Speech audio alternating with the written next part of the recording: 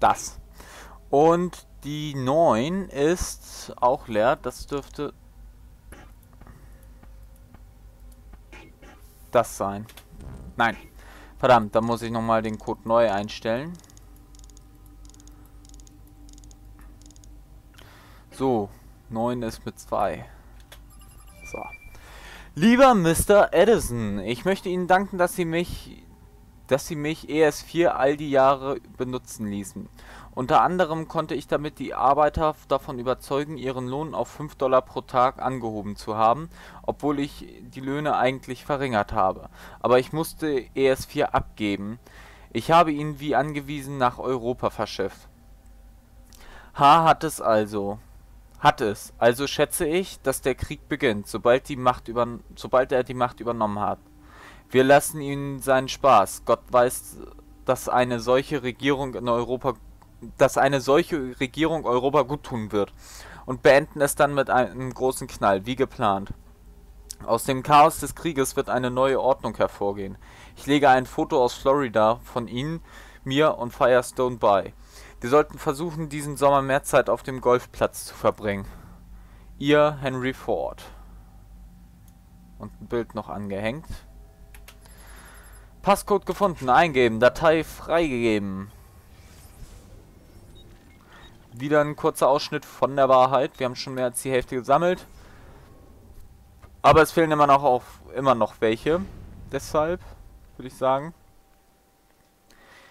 gehen wir hier erstmal weiter. Ja, ist ja gut, Leonardo. Immer mit der Ruhe.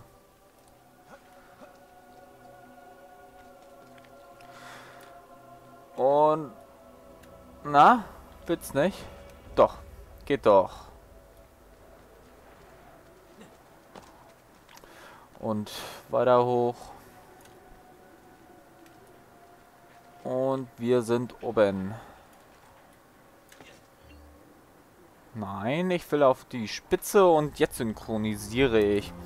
Während ich das tue, trinke ich noch einen Schluck.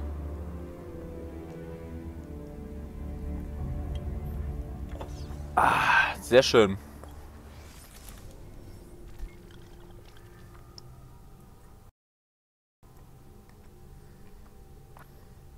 Ja.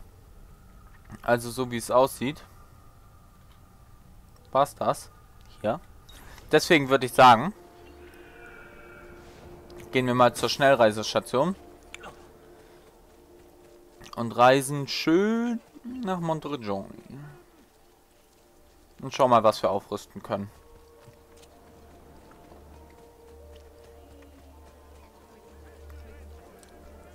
Das heißt, wenn Leonardo uns lässt. Ja, ist ja gut. Ja, man muss ihn mit ihm reden. Ab in die Villa. Ja, wirklich zu dem Ort reisen. Leichen einsetzen. Lenken Sie mit gleichen Aufmerksamkeit auf eine bestimmte Stelle.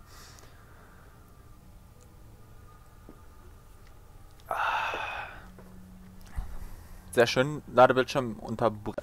Und da bin ich auch schon wieder zurück. Laden ist beendet mal wieder.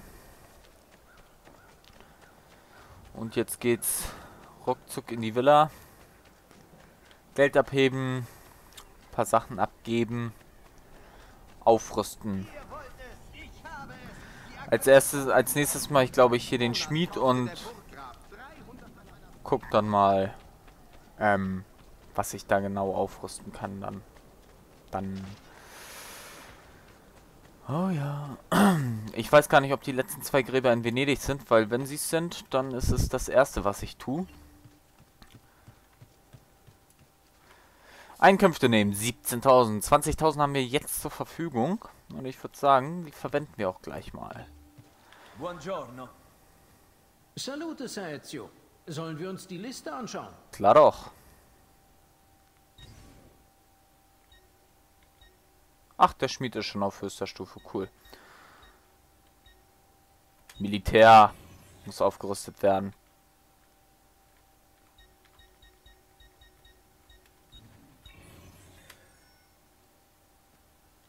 So. Noch 12.000, danach hätte ich nur noch 4.000. Ich behalte mal die 12.000. 9.000 reichen. Ja, hier kommt der Schneider. Dann habe ich noch 10.300. Buon viaggio. Und plus 8750 auf den Wert. Oh ja, genau. Interagieren. Ah, ich habe ja gar keine neuen gefunden. Von daher ist das redundant.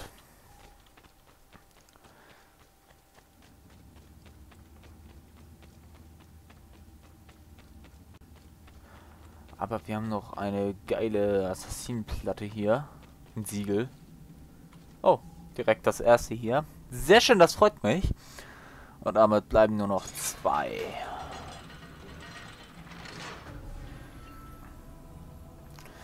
Noch zwei, dann haben wir endlich... Ähm, Alter, hier ist geile Rüstung. Ah, geil. Freue ich mich schon drauf. Aber ja, bevor es soweit ist, oder bis es soweit ist, ist es noch ein bisschen hin. Deswegen kaufe ich mir gleich mal die Rüstung, die aktuell am besten ist. Ich glaube, das dürfte die aus Metall sein und vielleicht mal ein neues Schwert. Also ein lange, äh, normales Schwert, kein Kurzschwert. Oh, schöne Bilder hier überall. Schöne Bilder hier überall. Und wir legen Federn ab. Eine weitere, zwei. Plus 10, naja, okay.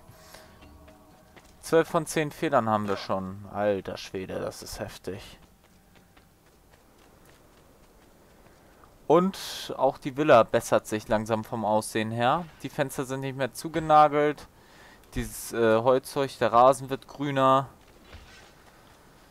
Ja, es sieht hier langsam richtig schön aus. Auch die Straßen werden besser, sind nicht mehr matschig, nicht mehr so matschig. So, dann lass mal sehen, was du im Angebot hast. Erstmal müssen wir reparieren. Rüstung. Armschütze aus Metall. Gekauft. Hm? viel Tempo hat das Ding hier. Das Offizierschwert. Meins. Alles klar, und das war's dann auch schon wieder mit unserem Geld. Tja, dann wirkt ihr also nur so gewöhnlich. Ich habe auch Accessoires um eure Nee, das wollen wir nicht. Und wieder ist der Wert gestiegen. Geile Sache. Arte. Kunst. Ach ja. Eines, zwei, drei, vier. Eines habe ich da bisher noch. Gut. Hier werden wir dann auch schon wieder fertig. Hat sich auf jeden Fall gelohnt. Und dann können wir auch direkt schon wieder zurück nach Flori in die Docks. Ach ja.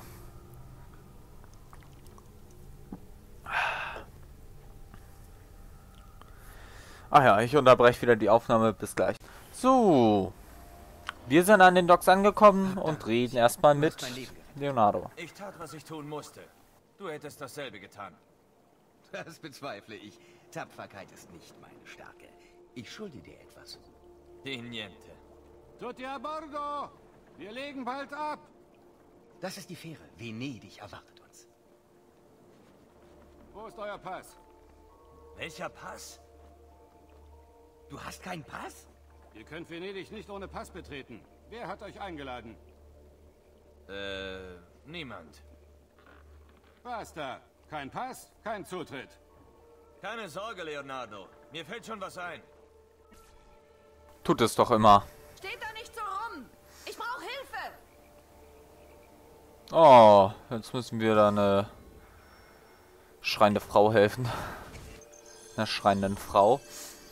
Ein Boot beschaffen. Da haben wir eines.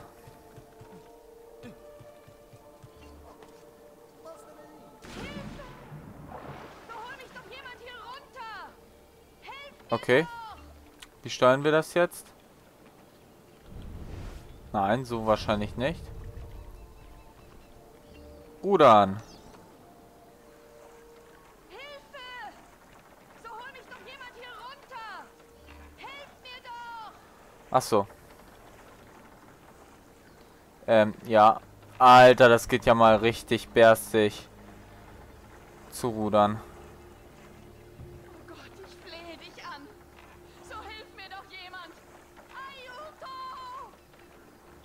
Ja, ja, ich bin ja schon unterwegs.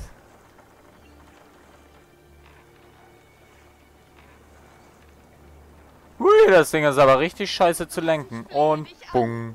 So hilf mir doch jemand! Aiuto! So, helfen wir der Frau. Madonna. Oh, ihr seid gut. Sicher habt ihr Schlag bei? Wie ist die überhaupt darauf gekommen? Ehrlich mal. Bullshit. Ich wollte niemanden beeindrucken. Nur eine Dame aus der Not retten. Und genau darum beeindruckt ihr. Und ihr seid Messer... Auditor. Oh. Aber nennt mich echt. Er kann unter Wasser reden. Er hat's voll drauf. Katharina. Nun, Ezio, müssen wir eine angemessene Belohnung finden. Jetzt ist die Habt ihr etwas Besonderes? Blöde da im? Weg. Da gibt es vielleicht etwas, wobei ihr mir helfen könnt. Ich bin ganz ohr. Tja, und schon haben wir eine Möglichkeit nach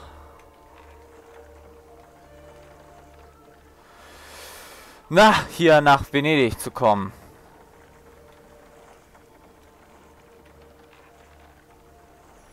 Ja, Signora. Wie ihr wünscht, Signora. Wer ist das, den wir da gerettet haben? Also wer ist sie? Er wird euch nicht mehr belästigen. Ich hab das erledigt. Die hat wohl Hab ziemlich Dank. Einfluss. Vielleicht sehen wir uns wieder. Solltet ihr euch jemals in Forli wiederfinden, wäre es ein Vergnügen, euch zu treffen. Mhm. Und ich freue mich auf eure Gastfreundschaft. Schon klar. Bitte, nehmt meine untertänige Entschuldigung an, Signore. Na, ich werde dich nicht abstechen. Das Ich lasse dich gut. diesmal am Leben. Ausnahmsweise. Und es geht ab nach Venedig. Weißt du, wer das war? Meine nächste Eroberung? Wohl eher nicht, Ezio. Das ist Caterina Sforza, Tochter des Duca di Milan. Ihr Ehemann ist... Ehemann. Sie, ihr Ehemann ist Statthalter von Forlì. Diese Frau ist genauso gefährlich, wie sie jung und schön ist. Oha. Klingt genau nach der richtigen Frau für mich. Tja, mal sehen.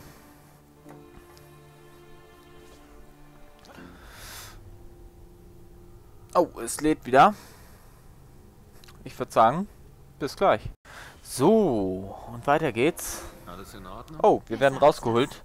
Du machst erstaunliche Fortschritte. Erstaunlich würde ich nicht sagen. Aber warum hören wir dann auf? Ein zu langer Aufenthalt im Animus hat äh, Nebenwirkungen. Mm, klingt nicht du gut. musst dir keine Sorgen machen. Du hast keins der Symptome gezeigt. Symptome? Was für Symptome? Ach, Bewusstseinsminderung, zeitweise Halluzinationen, Persönlichkeitsspaltungen, Realitätsverlust und so. Subjekt 16. Heißen, dass... Das soll heißen, Desmond, wenn du nicht aufpasst, brauchst du bald keinen Animus mehr, um deine Vorfahren zu treffen. Was gar nicht so schlecht wäre, solange man es kontrollieren kann. Nur das konnte bisher noch keiner. Subjekt 16. Wir sind vorsichtig, Desmond. Die haben ihn Er sagt lange es. im Animus gelassen. Tage manchmal. Wir passen auf dich auf. Das hoffe ich. Ja, Außerdem habe ich gehofft, wir könnten deine Fähigkeiten testen und zu sehen, ob du etwas von Ezio gelernt hast. Geht klar. Cool. Komm runter, wenn du bereit bist. Oh ja. Jetzt heißt es, ähm, ja, durch den, es gibt da irgendwie den Sickerungseffekt oder so, wurde am Anfang ja erklärt. Und jetzt äh, ist es soweit herauszufinden, wie viel Desmond von Ezio gelernt hat. Durch den Sickerungseffekt oder Sickereffekt oder wie auch immer. Das heißt, schön klettern eine Runde. Und, wie ist der Plan? Wir werden mal sehen, was du behalten hast. Alles. Komm mit. Alles. Abstergo ist da draußen und sucht nach uns. Mhm.